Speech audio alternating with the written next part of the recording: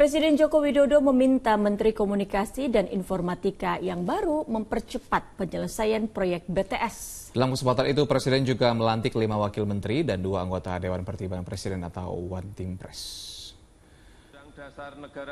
Budi Aristiadi yang sebelumnya menjabat Wakil Menteri Desa dan Pembangunan Daerah Tertinggal dilantik menjadi Menteri Komunikasi dan Informatika oleh Presiden Joko Widodo di Istana Negara Senin pagi.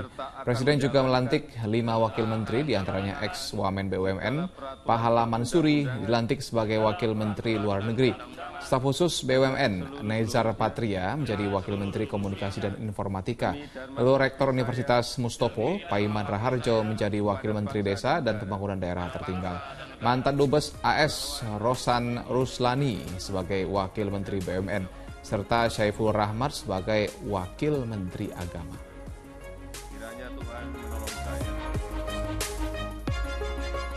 Waktu yang sangat pendek satu setengah tahun kurang.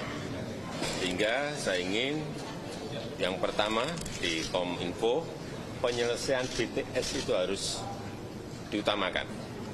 Penyelesaian hukum silahkan berjalan, kita hormati proses hukum, tetapi penyelesaian BTS-nya juga harus tetap berjalan.